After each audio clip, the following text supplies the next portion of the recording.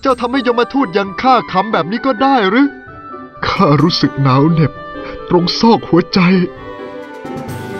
เจ้าบ้ากล้าล้อเล่นกับข้างั้นเหรอ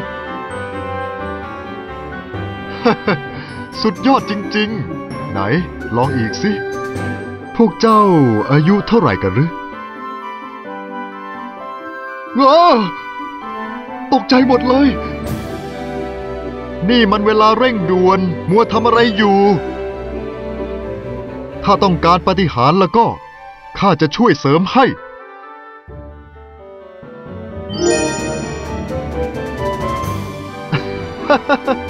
มันสนุกสุดๆ ช่วยเข้าใจ ความเศร้าของฉันได้ไหม รู้ว่าฉันเป็นใครยังจะทำอยู่อีกเหรอโห